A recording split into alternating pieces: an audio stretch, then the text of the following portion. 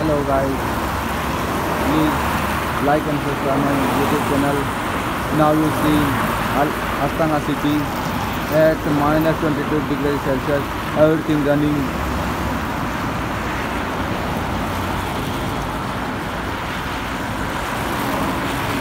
So much cold and uh, i can't afford so much and uh, survive.